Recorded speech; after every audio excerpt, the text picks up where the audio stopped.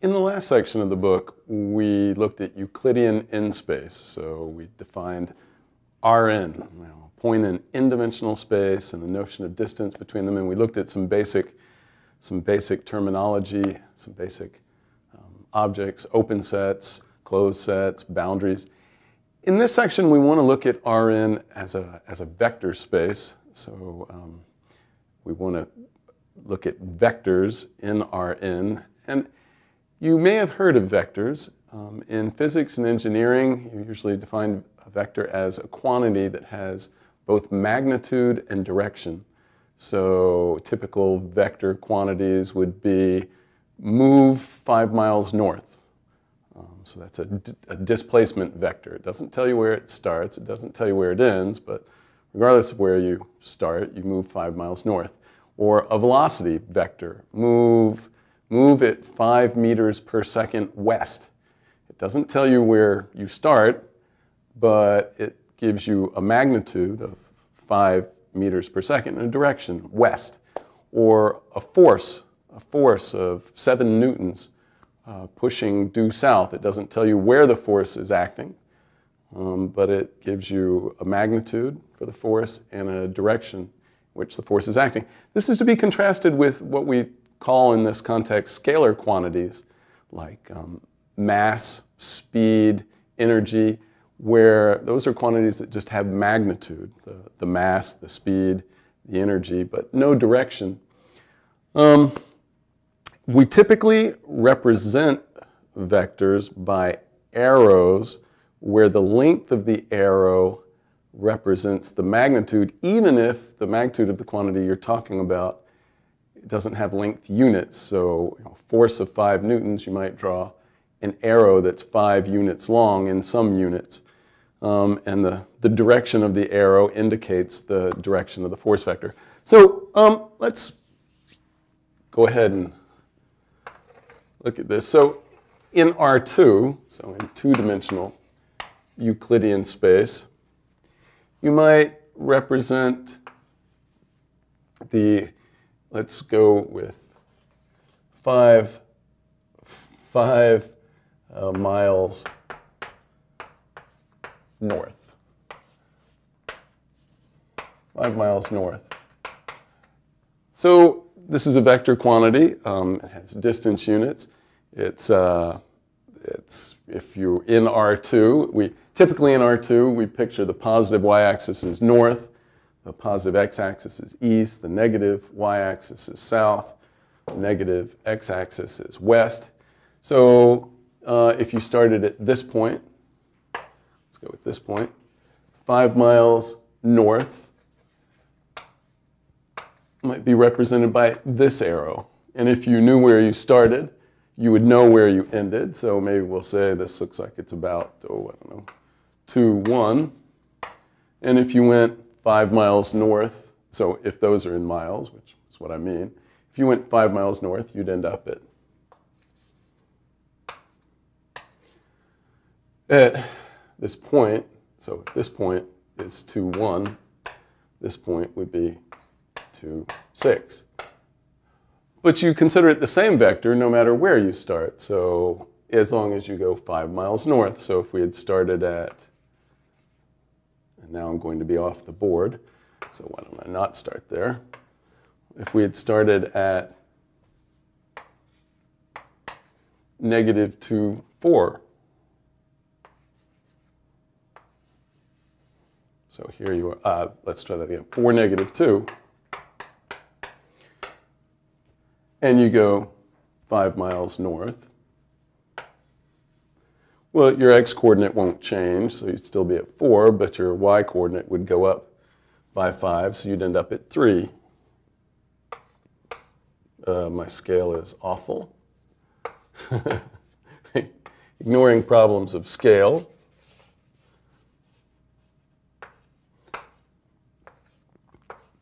Actually, I should have been more careful to draw this better because we'd like to see that the arrows have the same length, so maybe I'll more careful and draw it higher. 2, 6. So the vectors have the same magnitude. Both go up by 5 each time, and they both point in the same direction. Um, vectors don't know where they start and where they stop. Know, going 5 miles north, well, it, to know where you end up, you need to know where you start. And if you were going west at west, but now you don't mean some kind of displacement vector, but instead you mean a velocity vector, like maybe, what does that look like? About three, maybe meters per second. Yeah, you, you draw a length that corresponds to the magnitude and an arrow that corresponds to the direction. But again, the vector doesn't know where it starts and where it stops. The vector that's here and going three meters per second to the, to the left or in the direction west would be the same as the one down here that goes three meters per second west.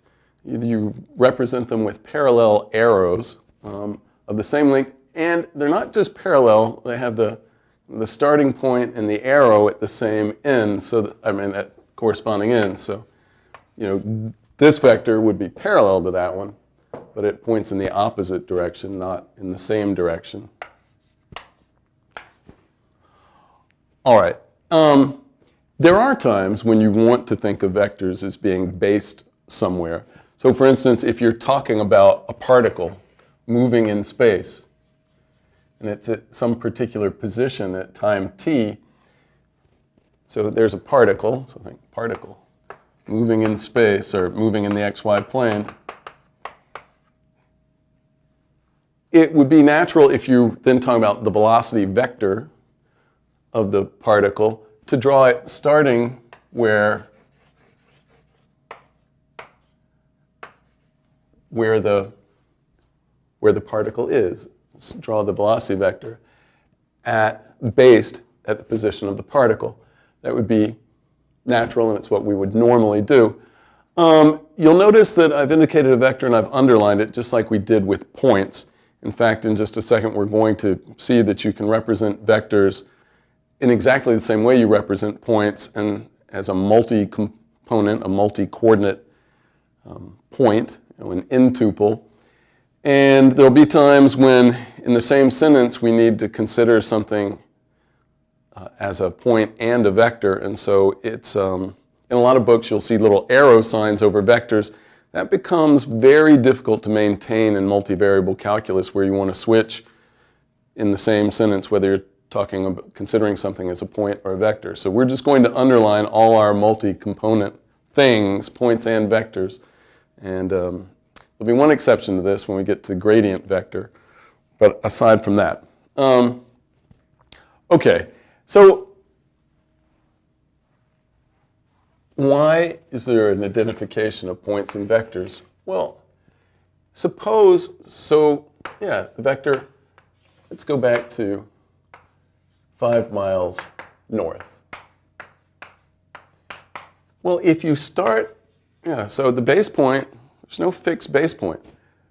But if you decide, well, I'll, I'll write everything as though it starts at zero, uh, at the origin, at 0, 0, well then, five miles north, you would end up at 0, 5.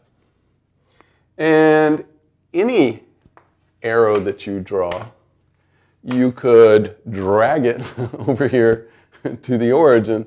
So if you think that this looks like, oh, I don't know, about 6, 1, maybe this is 6, 1, and then this looks like it's about, looks like the y coordinate goes up by about 2 and the x coordinate goes up by about 2. So, so this is 8, 3.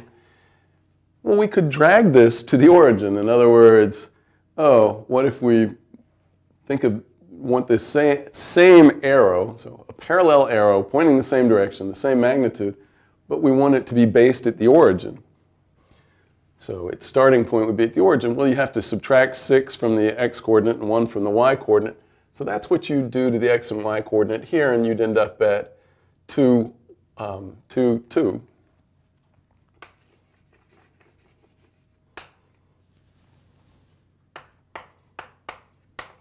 Those vectors are, are supposed to look like they're parallel and point in the same direction and have the same magnitude.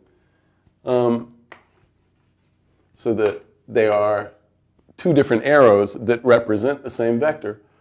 Well, then we can just call that vector by its final, its final point. If we always agree that the base point is going to be the origin, or we can at least think of the base point at the origin, then we can encode what the vector is just by stating what the endpoint is. And this is called giving a vector in coordinates or in components. So these two vectors are both supposed to be the same, v, but we just write it in, in coordinates or in components. We would just write v is 2, 2. Um, units, well, assuming we were still talking about uh, displacement, so this would be miles, assuming both, both coordinates are measured in miles. For a vector to have units, a vector has units if and only if each of the coordinates has units and all those units are the same, then if each of the coordinates have miles for units, then the whole vector has units that we, of miles. Um, okay, so what does this mean?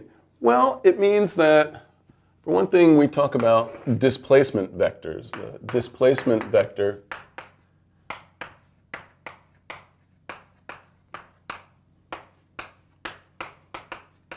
from, uh, this will be another time when we use an arrow, from A equals, so we can do this in Rn.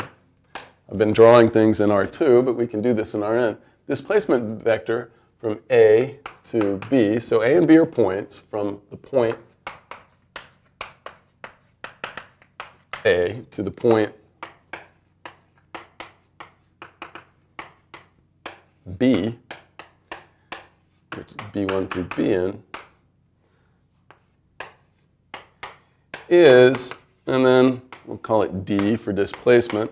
And then, well, we've already got underlines under a and B to indicate they have multiple components, multiple coordinates, and so we can't effectively underline this, but put an arrow for the displacement vector, and it tells you how much each coordinate changes. So when you go from A to B, so the first coordinate changes by B1 minus A1, the second coordinate changes by B2 minus A2, and so on, Bn minus An. So for instance, this vector, I want this out of the way, this vector, which I called v a minute ago, this displacement vector is the displacement vector from 6, 1 to 8, 3. And in coordinates or components, it's just the x coordinate of the, of the displacement vector tells you how much the x-coordinate changed, so that's 2, and the y-coordinate changed by 2. So there's the displacement vector, and if we still have units, it's miles. So, okay, that's a displacement vector. Um, but we do this for other vectors. We might, um, the Right? Not all vectors are displacement vectors. Like you might have v equals 2 minus 1 meters per second.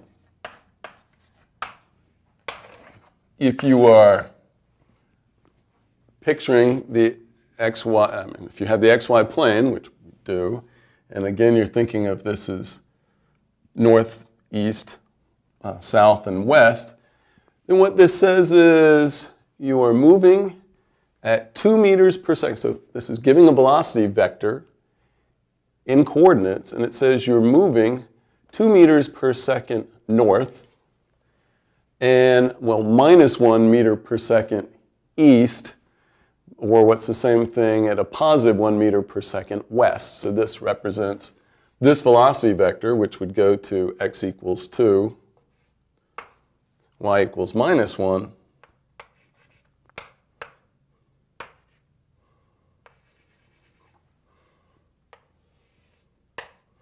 Uh, those units don't look close to the same.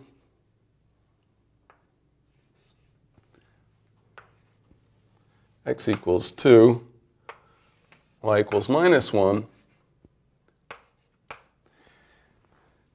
This, the length of this arrow represents the magnitude of this vector. It's, um, even though, yeah, the length, you know, the length has length units, you draw an arrow whose length represents the magnitude of the vector.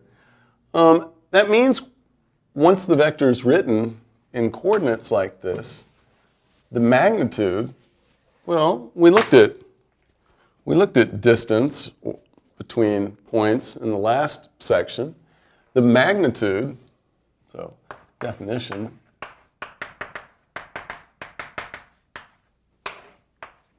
regardless of whether it has length units, velocity units, force units, the magnitude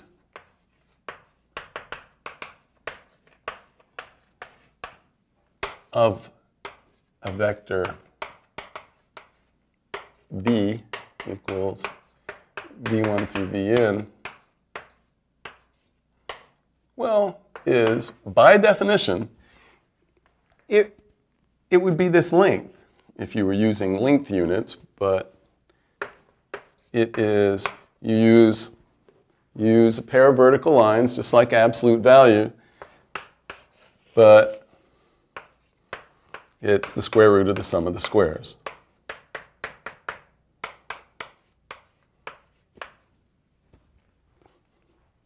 So this is, if you're being really careful, this is, it's Euclidean magnitude because this is how we measure distance in Euclidean space, but um, we're not going to use any other notion of distance, so we'll always, we'll just say magnitude. Um, you should, as you may know already, we give a special name to the, the magnitude of velocity as a special name called the speed. Speed equals the magnitude.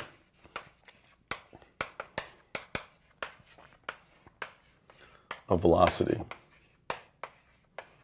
So velocity is a vector quantity. It has a, a magnitude, the speed, but velocity has a direction, unlike speed, which speed itself is a scalar quantity. Um, there, see, there's a specific example, a specific couple of examples I want to look at.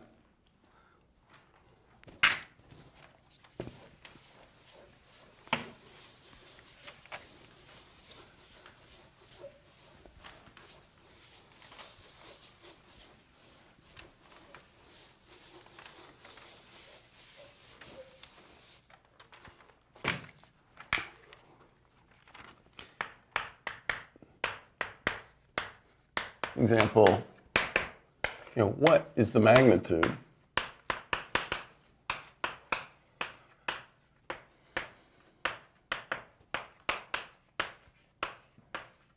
of the force vector.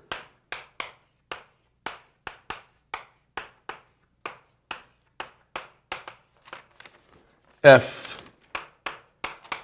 equals 3 minus 2, 4 newtons.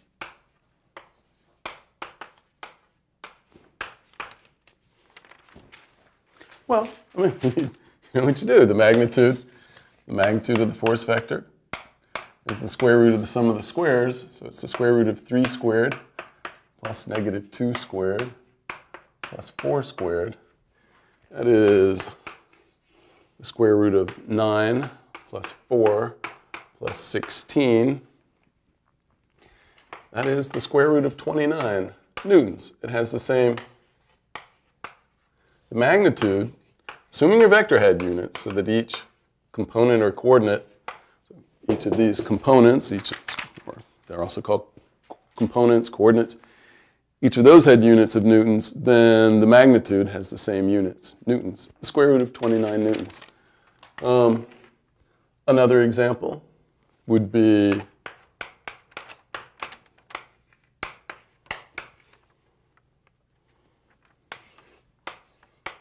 suppose, the, the velocity of an object.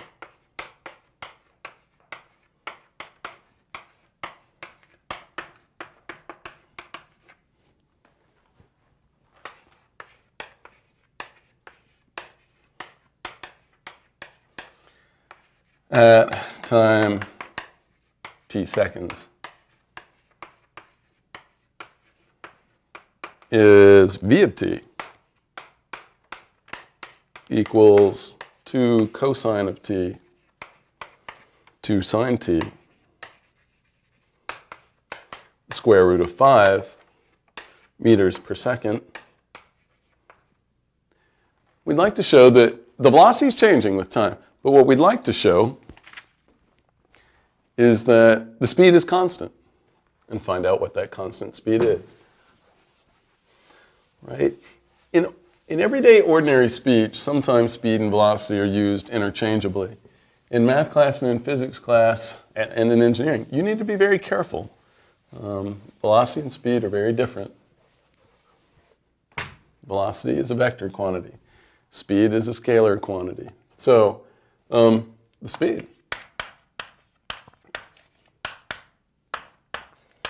It's the magnitude of the velocity. It is the square root of the sum of the squares.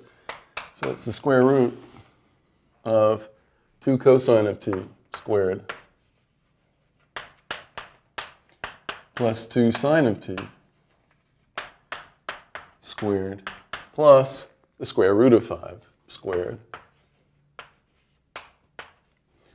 But this is 4 cosine squared. And then this is plus 4 sine squared. Factor out the 4. You get 4 times cosine squared plus sine squared, which is 1.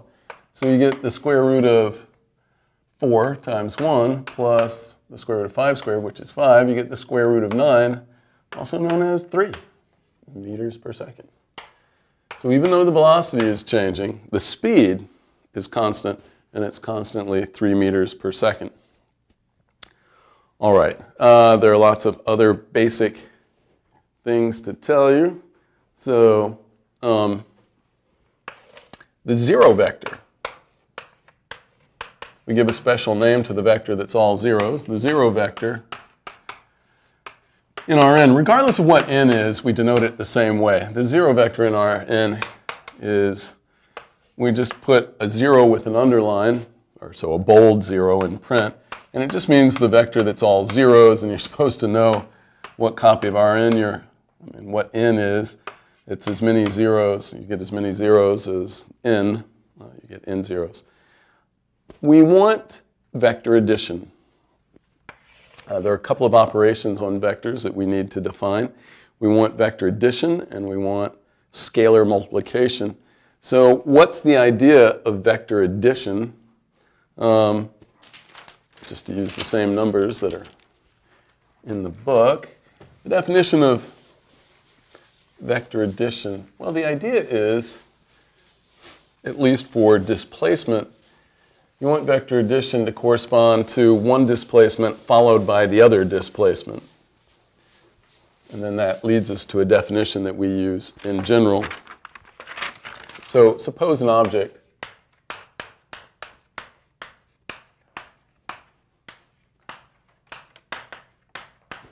moves two units north and three units east.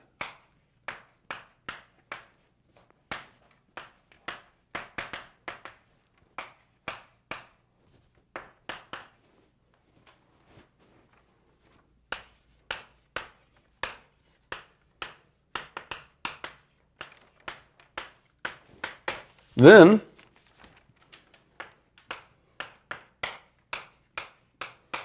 it moves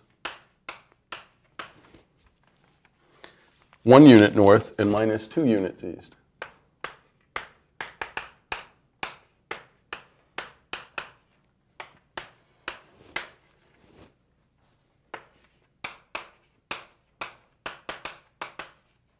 So minus two units east means two, two units west.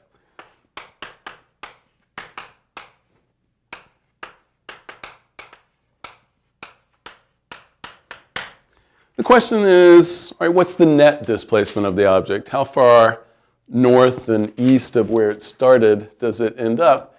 And of course, this is a trivial problem. You went two units north, and then you went one unit north. So you end up going three units north. And you went 3 units east, and then minus 2 units east. So your total, your net, is 1 unit east.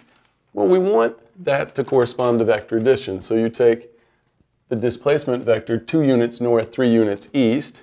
So that would be represented by uh, 3, 2. 3 units east, 2 units north. And you add to that um, minus 2 units east, and then 1 unit north. And you end up, you want to end up at 1 unit east um, and 3 units north. So this is what we want. We want, for displacements, we want addition to mean what, you, what would happen if you did one and then the other. And as you can see, all we did was add component-wise. We added 3 and minus 2 and got 1. We added 2 and 1 and got 3. This is what you do in general. Um, the definition. So I'll just write quickly. Vector addition is defined component-wise.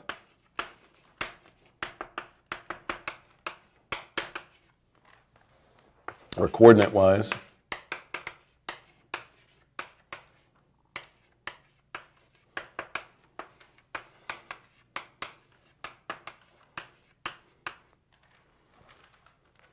Um, A1, oops, A1, if you have a vector that in coordinates is A1 through AN, and you add to that B1 a vector that's given in coordinates by b1 through bn, what do you mean when you add those? You add the coordinates. You get a1 plus b1, comma, a2 plus b2, comma. You just add the corresponding components. That. Um, you know, it's, it's basically, if you got to define vector addition, it's pretty much kind of the easiest thing you could do, and it might be what you would guess. um, it, this actually, if you picture this geometrically, it's kind of kind of nice. So what it says is, suppose you do one displacement vector and you go from here to here. So let's Maybe this is A. And then you start here and you do another displacement to over here. We have defined the sum so that it's the net displacement. So A plus B is here, which means that geometrically how you add vectors is you take the second vector and start it where the first vector ends, and then the, the sum is represented by the arrow that goes from the starting point to the final point. Of course, you could do B first, so I'm now going to try to draw something parallel to that with the same mag with the same length. So here's A plus B. But you could draw B first and draw A, and you'd end up at the same place, which is just a reflection of the fact that addition in the components is commutative that in each component, like A1 plus B1 equals B1 plus A1. Um, so you can, in, when you draw it like this, you have B represented by these two parallel arrows, A represented by these two parallel arrows. You get this parallelogram, and A plus B is represented by the diagonal of this parallelogram. This is frequently referred to when you're talking about um, geometrically representing vector addition, parallelogram rule for vector addition.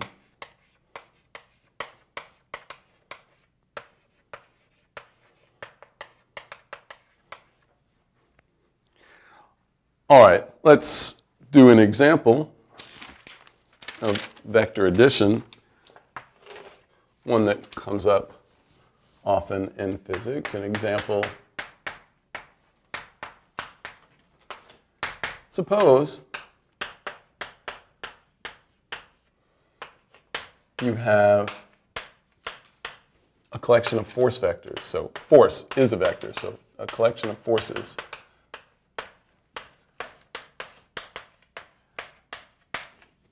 F1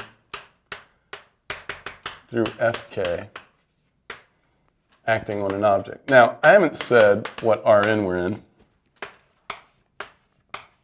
There are many things that we can do in arbitrary, in arbitrary dimensional Euclidean space, in Rn, but typically if we want them to correspond to some real physical situation that we're picturing, you should think of these are either force vectors in R2, so something's happening in the xy plane, or force vectors in space, so they're vectors in R3. They have three components. Um, but there's no harm in doing this in Rn. You just might go little nuts trying to picture it. Suppose you have a collection of forces acting on an object. The net force, net force is an important concept in physics. The net force acting on the object is the vector sum of those.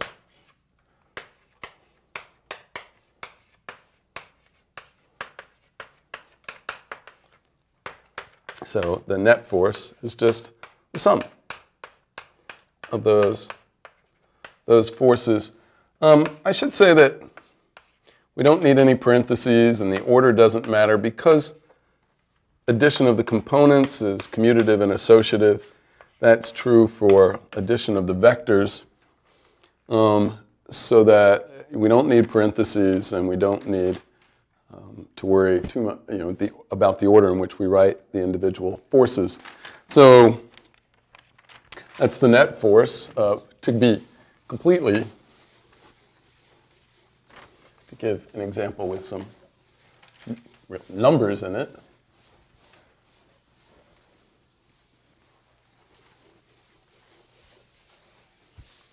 you might have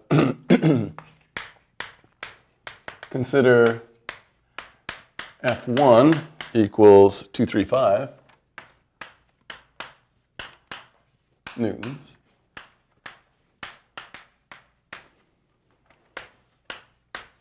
And F2 equals minus 3, 1 minus 2 newtons. Suppose act on an object. And I'm assuming these are the only forces that act. Usually when you say net force, you mean the total of all the forces. So I'm assuming these are the only two forces that act on an object. And the question is, what is the magnitude of the net force?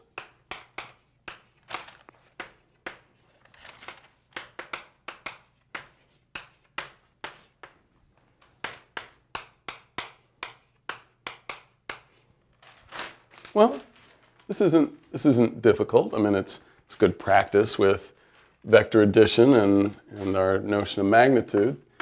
Um, F1, so F net is F1 plus F2, which is 235 plus minus 3, 1, minus 2. And that is, you get a minus 1, a 4, and a 3 minus 1, 4, 3. That's newtons still.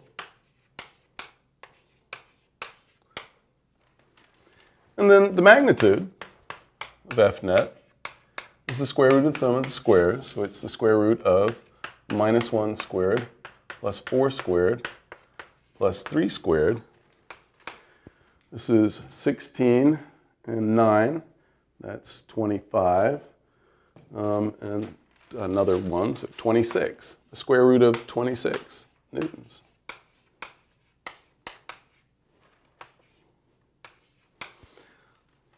Okay. Um, there's another operation we want for vectors, and it's called scalar multiplication. Um, scalar is a form of the word scale. Scalar multiplication means you multiply by something that scales the vector. So let me draw a little picture in R2.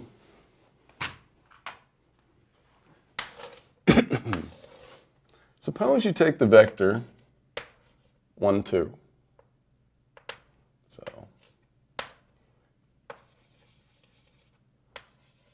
oh, 2. So here's the vector 1, 2. And it's represented by the arrow from the origin out to the point 1, 2. What do we want 2 times 1, 2 to be? So suppose v is 1, 2. What is 2 times, what do we want 2 times v to mean? Well, we'd like to scale the vector v by 2. What does that mean? Well, it means go in the same, make it twice as big. So means take something that's in the same direction, but twice as long. Well, it should be clear to you that you know, this displacement vector was 1, 2. You displace it another 1, 2.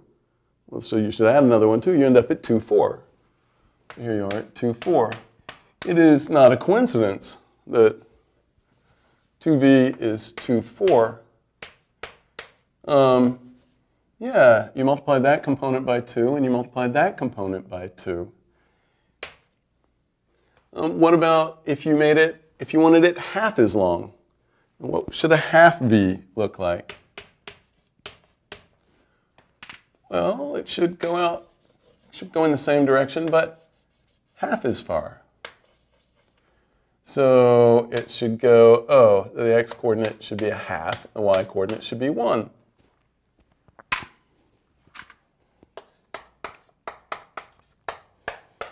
But all that is is you took that coordinate and multiplied by a half, and you took that coordinate multiplied by a half.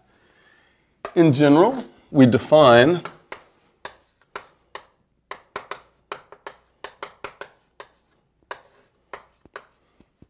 we define a scalar r times a vector a1 through an, so a vector given in coordinates by a1 through an, you just multiply r times each coordinate, each component you get r times a1, r times a2, and through r times an. When r is a, a positive number, you should just picture, oh, it points in the same direction, but you change the magnitude by the scalar. It's like, oh, it goes out half as far. Um, what about if r is negative? It may not be so clear, but where would, what happens if you multiply by negative 1 or negative 2? So what is negative 1 times v? Well, first of all, we just write negative v for that usually. Um, and by this definition, it would be minus 1 minus 2. Where is that? Well, it's parallel to this, but it goes out the other side. It goes to minus 1 minus 2.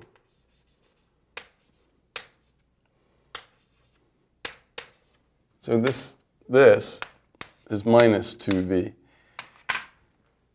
What's, what about, what's, okay. So scalar multiplication by a negative number, um, it's, it scales it. Actually, I guess I didn't demonstrate that. Multiplying by negative 1 negates the vector, and what that means is it points in the opposite direction but has the same magnitude. On the other hand, if we had multiplied by negative 2, we'd end up at negative 2, negative 4. So the vector would be twice as long, but in the opposite direction from the original vector. So that what we're getting is that the magnitude of r times a vector a is the absolute value of r times the magnitude of the vector a.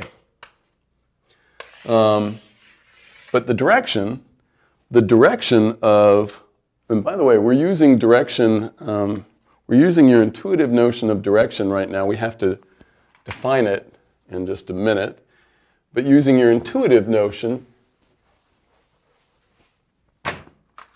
if our, what, what you're supposed to believe at this point is that if r is greater than 0, r times a has the same direction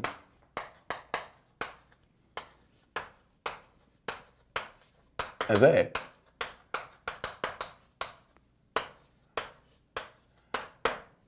And the magnitude gets scaled by r.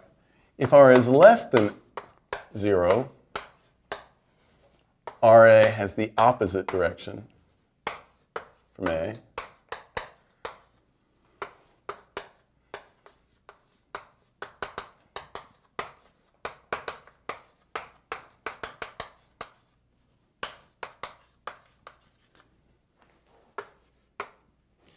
Um,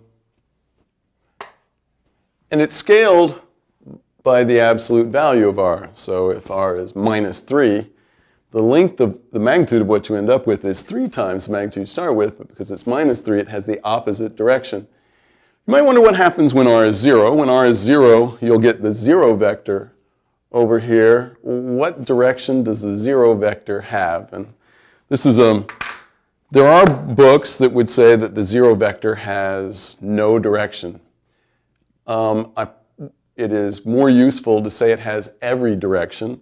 Um, it makes more statements nice without having to write a lot of extra words. Um, because if you say the zero vector has every direction, it's parallel to everything, it's perpendicular to every other vector. Um, it helps make a lot of statements true without adding extra qualifying sentences. But also intuitively is going Suppose you go zero feet north. Is that the same as going zero feet west, zero feet east, zero feet south? Well, sure it is. The zero vector, if you don't, if you don't have any magnitude, you can consider that no magnitude in every single direction. Um, so yeah, it's not, philosophically it shouldn't seem bad to say it has every direction. Um, and it's very helpful to us, so we will say it has every direction.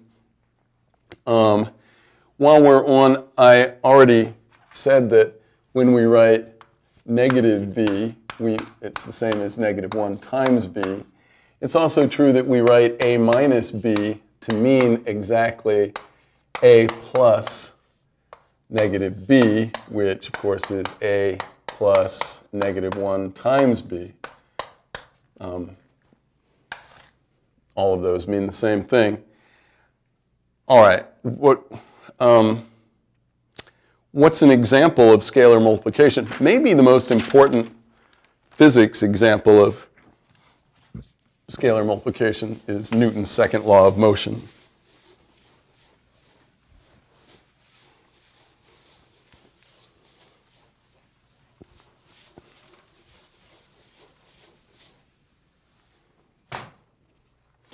So, example,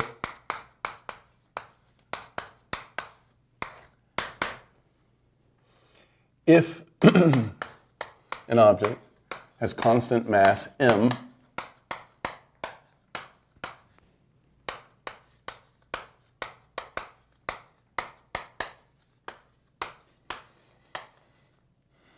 which is a, a, scalar quantity, so it's just a real number.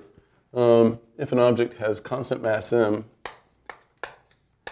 then the net force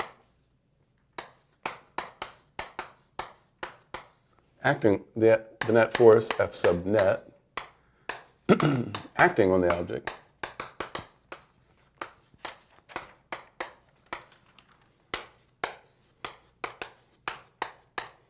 is related to the acceleration of the object, A,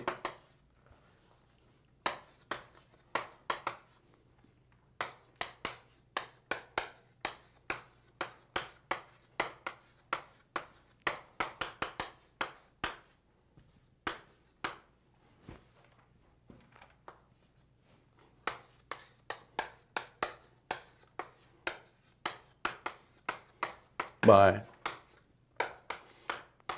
Fnet equals m times a. Um, this is very famous. Uh, you frequently don't see the net because people, when they say the force acting on an object, they mean the net force, all the forces. Um, and then it's just F equals ma. This is called Newton's second law of motion.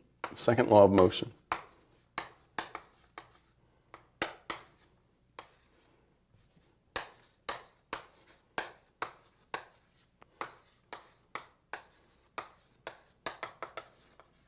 And this is scalar multiplication. The mass is a scalar. The acceleration is a vector quantity.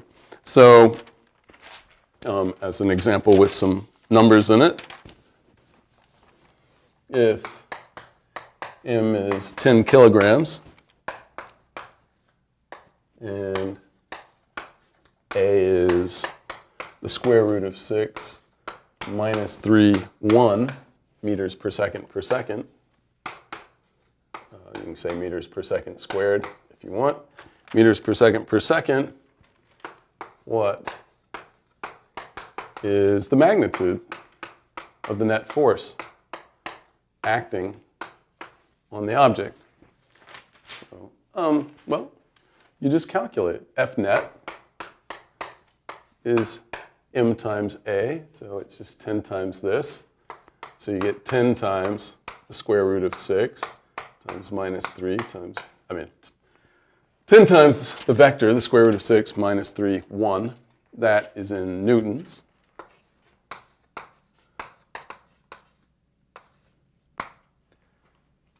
And then the magnitude,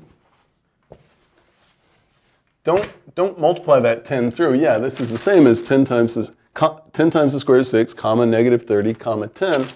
But if you want the magnitude, it just pulls right out. You get 10 times, right? It's the absolute value of the scalar, and then times the square root of this squared plus this squared plus this squared, the square root of the remaining vector. So the square root of 6 squared is 6, plus um, minus 3 squared, you get a 9, plus 1 squared, you get a 1. That's the square root of 16, which is 4, so you get 40 newtons.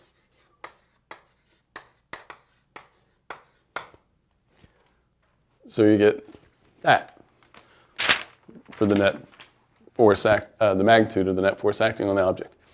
In fact, you may wonder, well, I, I just use this formula, that the magnitude of r times a is the absolute value of r times magnitude of a. Why is that true? It's just, you just use the definition, right? The, the magnitude of this side, by definition, scalar of scalar multiplication, is the magnitude of this, which is the square root of the sum of the squares.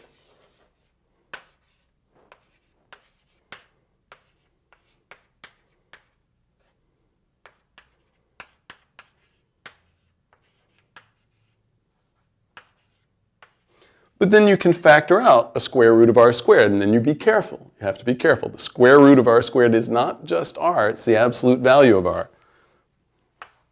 And so you get the absolute value of r times the square root of a1 squared, so plus the square root of the sum of the squares of the coordinates of a. And that's exactly the magnitude of the vector a. So yeah, this formula is easy to derive, but I meant to do it a minute ago. Um, okay. Finally, after all this, we're prepared to give a, a rigorous, a real definition of what direction of a vector means. Under, understand the problem. Like, even if you're moving in the xy plane, if you're talking about direction in the xy plane, okay, we have north and east and south and west and northeast and southwest and east northeast and but there are an infinite number of directions and you, you can't give a name to all of them. So the question is, what does the direction of a vector mean? Really, I mean, we had an intuitive idea, and I was appealing to it when I was saying that, oh, if you multiply by a positive scalar, you get the same direction, and multiply by a negative scalar, you get the opposite direction. But what on earth does direction really mean? And so, in, in a sense, this will seem like cheating. It's that, well, if two vectors have the same direction, if and only if, when you make them the same length, they're the same vector, right? If vectors just have magnitude and direction, and you scale them so that they have the same magnitude, then they'd have the same direction if and only if after you do that, you get the same vector. So we actually pick a fixed length or a fixed magnitude that we like, and we, don't, we can't pick zero, so we pick one.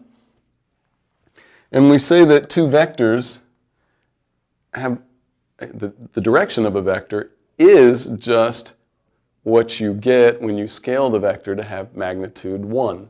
So let's look at this for a second. Suppose you want to take um, a positive scalar times a vector. So we want r to be greater than 0. And we want the magnitude of r times v to be 1. Well, this is the absolute value of r, but we're assuming r is positive, so it's just r times the magnitude of v we need that to be 1. It means we need 1 r to be 1 over the magnitude of v. So we need v's, not the 0 vector. And then if you want to multiply by a positive scalar, so multiply v by a positive scalar so that what you end up with has magnitude 1, that scalar needs to be 1 over v. So um, we make some definitions. The definition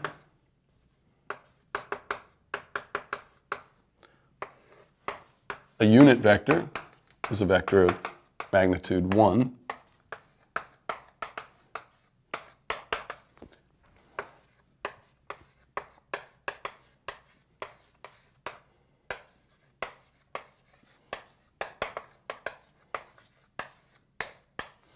And here's the, the, the cheating part. The direction of a non-zero vector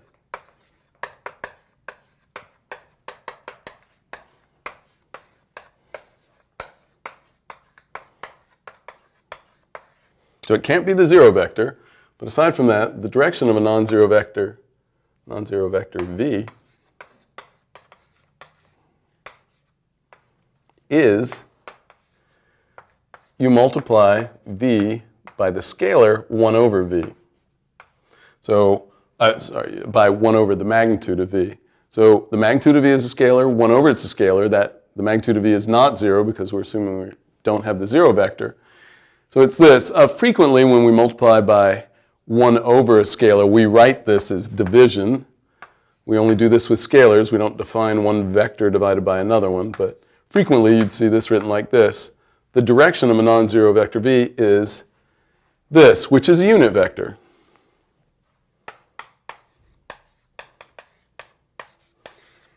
And we say, well, we, we talk about that unit vector as the unit vector, well, it is the direction of v, but we talk about it more colloquial and, colloquially and say it has the same direction as v. Well, yeah, by definition, it, it is the direction of v.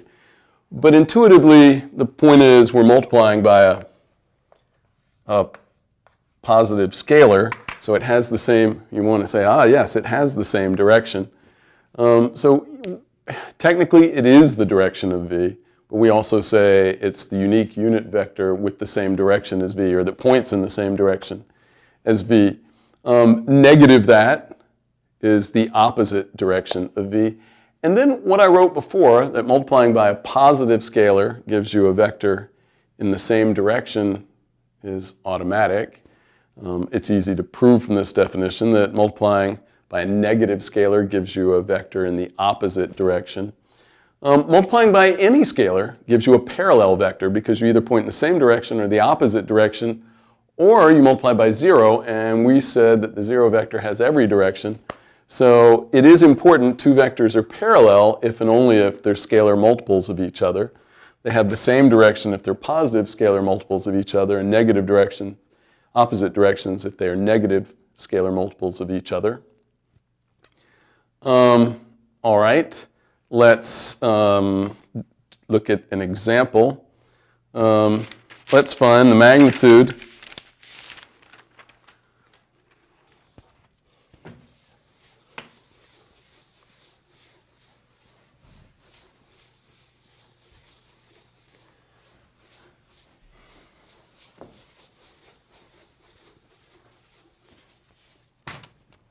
Find the magnitude and direction.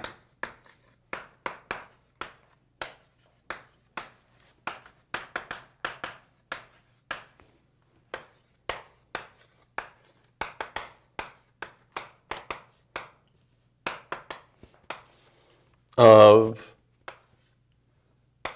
the displacement vector, d, equals the displacement vector from 1, 2, 3 to minus 3,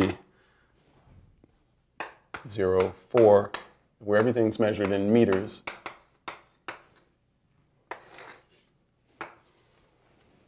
All right. So what do you do? Well, we need first to write First, we need to write the vector out in its components.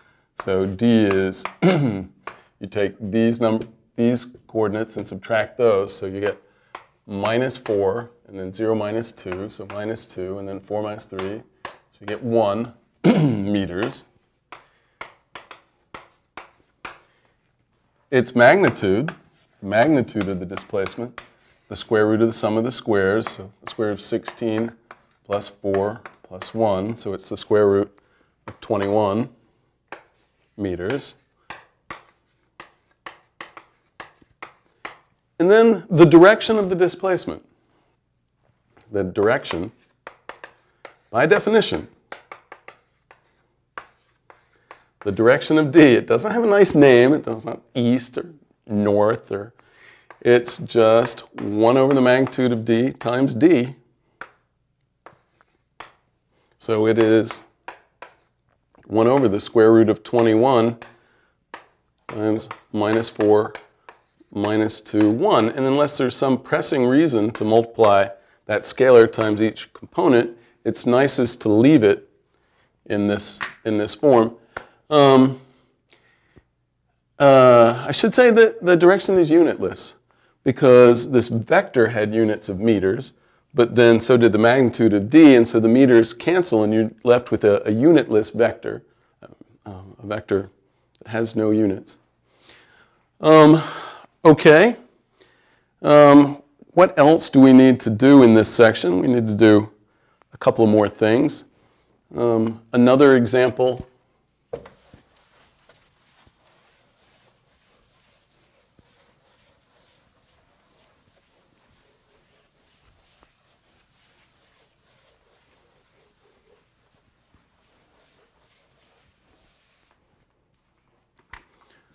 Another example, and there were specific vectors I want to use here. Example,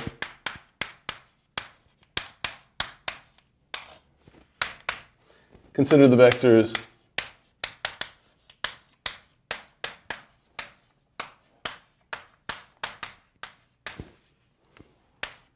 Two minus three zero four. Minus three four 0 minus 6 minus 1.5 to 0 minus 3 and 8 minus 12, 1, 7. And the question is, or, or the command, determine which pairs of vectors are parallel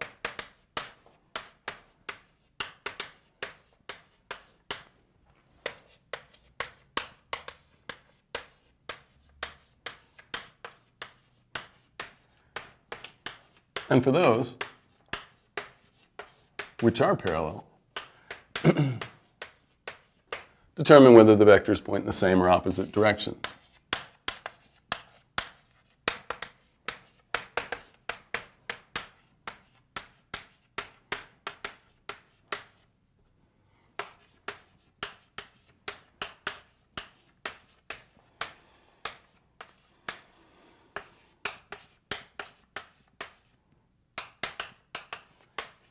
Now, you might think this is really tedious because to have the same direction, you should calculate the magnitude. You could calculate the magnitude of each vector, multiply the vector by the reciprocal of its magnitude, and see which vectors come out to be the same or negatives of each other. But it's easier than that. Um, if they're parallel, they're scalar multiples of each other. And then if that scalar is positive, they point in the same direction. If that scalar is negative, they point in the opposite direction. How easy is it to see, um, to see if the vectors are scalar multiples of, it, of each other? Pretty easy. Um, so for instance, if these vectors were scalar multiples of each other, well, it's easy to see what the scalar would have to be. You can just look at this first component this vector would have to be minus 3 halves times this vector, because the first entry, the first coordinate is minus 3 halves times that one. And then it's a question of, are all the other entries minus 3 halves times the entries before them? Um, so if you multiply minus 3 by minus 3 halves, you get 9 halves, which is not 4. So these vectors are not scalar multiples of each other. They are not parallel. Okay, is this one parallel to this one? Well, if it were parallel, the scalar, they'd have to be scalar multiples, and the scalar would have to be negative 5 halves, so that's negative, negative, uh, well, five, negative 5 halves, negative 1.5, so negative 3 halves um, divided by 2, right? So negative 3 fourths. Is it, is this vector negative 3 fourths times this vector? Um, no, because then the second component would have to be 9 fourths, which it's not. So no, this vector is not a scalar multiple of that vector. They are not parallel. Is this vector a scalar multiple of that vector? No, because any scalar multiple of 0 would have to be 0, and this vector doesn't have a 0 in its third coordinate. So this vector is not parallel to any of the other three. Okay. Is this vector parallel to this vector? If it were, the scalar would be determined by this first coordinate. It would have to be minus 3 halves divided by, sorry, be minus 1 and a half, so it is minus 3 halves divided by minus 3. It would have to be a half. Is this vector a half times this vector? And the second coordinate would need to be a half times 4, that's 2. 0 times a half is 0, minus 6 times a half is minus 3. Yes. this vector is that vector multiplied by minus a half. So multiplied by 9, uh, no, by just a half, sorry, not minus a half, times a half. And then you get that vector. So those vectors are parallel, and because that scalar is positive, they have the same direction. And you do the same thing with the remaining pairs. It's, oh, is, um, is this vector, uh, is this vector a scalar multiple of this vector? No, because it has a 0 there, and this doesn't have a 0 there. So this vector is parallel to this one, but um, is not parallel to that one. Well, are these parallel? Well, no. I mean, parallel is an equivalence relationship. This one's parallel to that one. It's not, and this one's not parallel to that one. Certainly this one's not either, but you can check again. This is not a scalar multiple of this because if it were, you'd have to get a zero in that third coordinate, and you don't have one. So yeah, checking whether vectors are parallel is just a matter of checking whether they're scalar multiples, and that's easy. You just look at the first non-zero coordinate, and it would tell you what the scalar would have to be. And then you check and see if that works um, for all the other coordinates. If it does, they're scalar multiples. If that scalar is positive, they have the same direction. If the scalar is negative, they have opposite directions. Um, what's another interesting or you know, typical thing you might want to do with scalar multiplication? Scalar multiplication. Another example is find the unique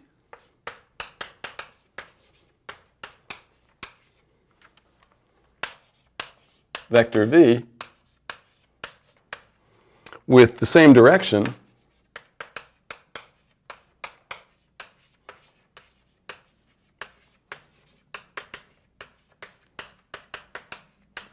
as w equals 132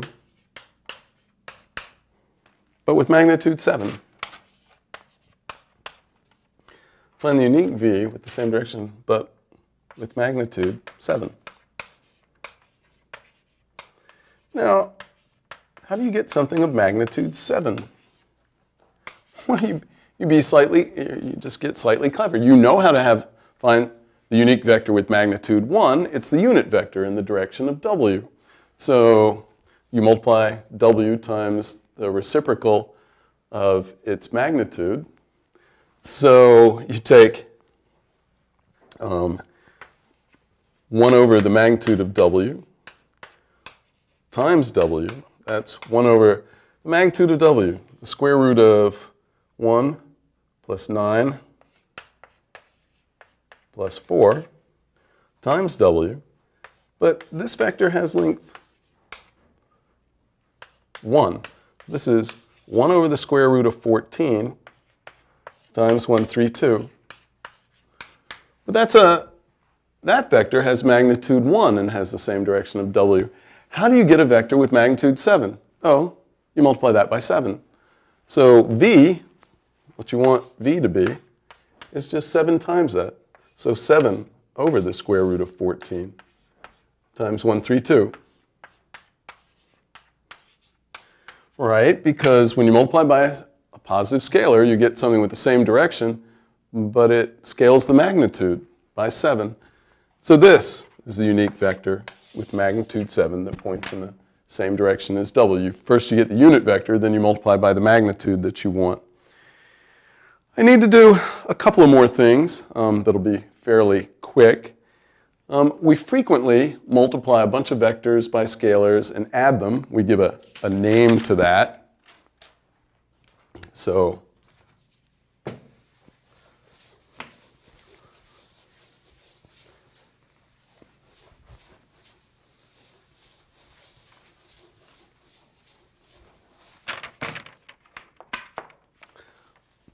So a definition.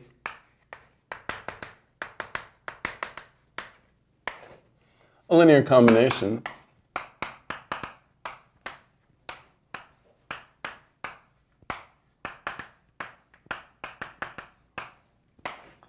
of vectors all in the same Rn of so v1 through vk in Rn it's just something, anything of the form a scalar times v1 plus a scalar times v2 plus dot dot dot plus a scalar times vk is any vector of the form.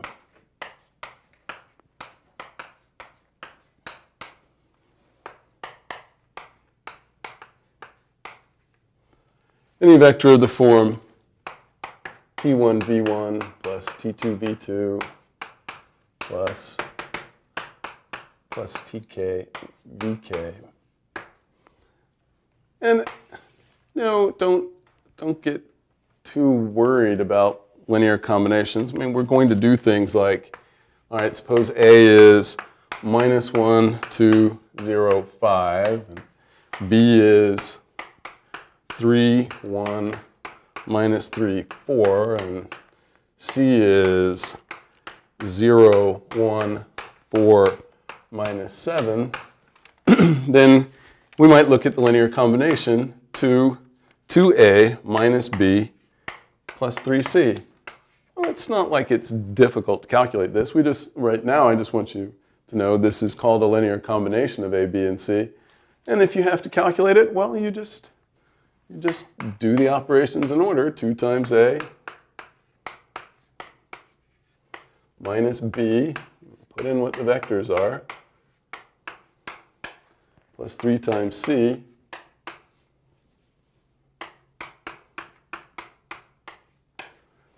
and you get minus 2, 4, 0, 10, minus 3, 1, minus 3, 4, plus 0, 3, 12, minus 21. And then you add and subtract. I didn't bother negating each one of those. So I might get into trouble when I mess it up. But minus 2 minus 3, so you get minus 5 plus 0, so that's a minus 5. And then you get a 4 minus 1, so that's 3 plus 3, so you get 6. And then there's a, a 0 minus minus 3, so um, sorry, you get a 0 minus minus 3, so you get a 3 plus 12, so you get a 15. And then finally you get a 10 minus 4, so that's 6, minus 21, minus 15. All right. Um, so that's linear combinations. One of the reasons we want linear combinations is because of the way that a lot of people like to write vectors. And I've been writing vectors out in coordinates. So, you know, for instance, 3 minus 2, 7. You can write this as a linear combination of some very special vectors. So if this is exactly the same as 3 times 1, 0, 0, minus 2 times 0, 1, 0 plus 7 times 0, 0, 1? Well, of course it is. I mean, this just gives you 3, 0, 0. This gives you plus 0 minus 2, 0, and plus 0, 0, 7. And when you add those, you get this vector. Well, we typically give names to these vectors, these special ones, the one that has a 1 in the first coordinate and then two zeros, and then one that has a 0 and then a 1, then a 0, and 1 has this. We give these the names i, j, and k. And in the x in R3, when we draw positive x, y, and z axes, those vectors they all have magnitude 1. The square root of the sum of the squares is 1. These are unit vectors. And you picture them, one of, this i goes out one unit on the positive x-axis. j goes out one unit on the positive y-axis. And ah, yes, I'm putting little vector symbols over them. I probably will do that from time to time. Um, and k goes on the positive z-axis. Um, Right, these are given a name, and in R2 you would just have this one and this one. You use I and J in R2 for 1, 0, and 0, 1. These are called the standard basis.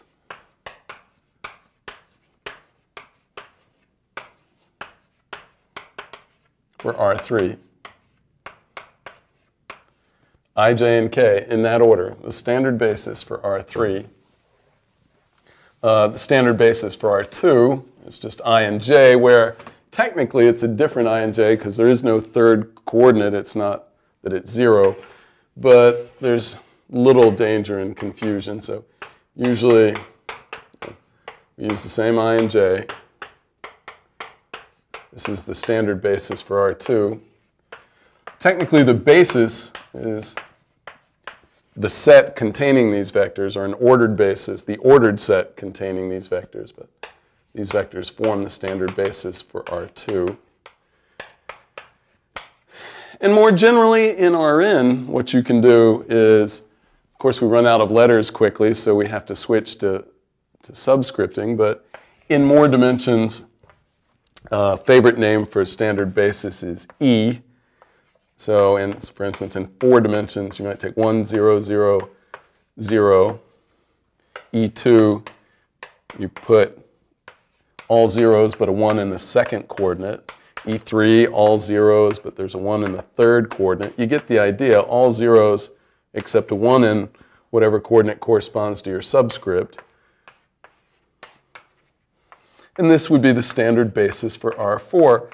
And the whole point is, well, one of the points is these are unit vectors, but the whole point is instead of writing a vector in coordinates like this, instead you can just put the coordinates out here as scalar as the scalars in front of the standard basis. So, you know, if, if it makes you happy, instead of instead of writing a 1, 5, 0, minus 3, you could write this is 1 times E1 plus 5 times E2 plus 0 times E3, so we wouldn't write that, minus 3 times E4, where E1, E2, E3, which is missing, and E4 form the standard basis for R4. Um, I, I act like I'm not going to use this notation. In fact, I don't like writing out the i's, j's, and k's very often. However, in some physical settings, it's very natural to use them. Um, in particular, when you're talking about the force of gravity near the face of the Earth, you probably know that there's a, a gravitational acceleration, which is roughly 9.8 meters per second per second near the surface of the Earth. But so g equals gravitational acceleration near the surface of the Earth. So I'll say acceleration of gravity.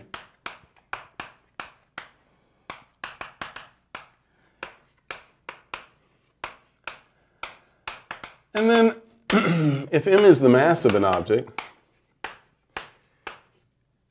you'll sometimes hear people say, ah, the force, the force that gravity exerts on that mass is just m times g. Well, that's the magnitude of the force. It's a scalar, but force is a vector. And so, yeah, the, the gravitational force vector, what is it?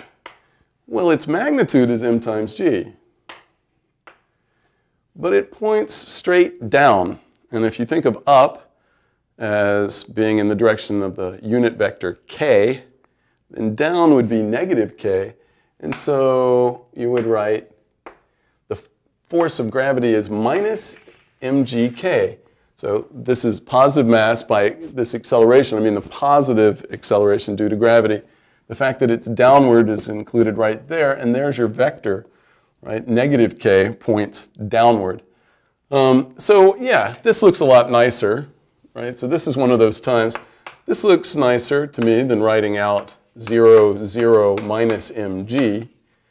Um, it's the same thing, technically, but somehow in some physical problems, it looks nicer, especially when you just have a reference to a single standard basis vector to write out the standard basis vectors instead of everything in coordinates.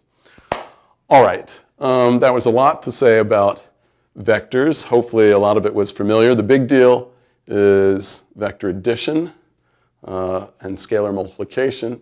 Um, the direction of a vector is the unique unit vector that points in the same direction as the vector.